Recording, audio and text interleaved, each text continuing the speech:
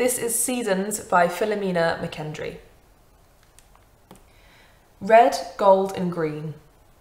A magic carpet in the trees. Soon it will fly down, leaving the skeletons of winter. Hygge, comfort and warmth beckon, a treasured companion by your side. As we move into the dark, bleak winter with its lights and fires. Again, the magic carpet will rise up, green, young, and growing, and the trees will heal us, ready for summer's demands.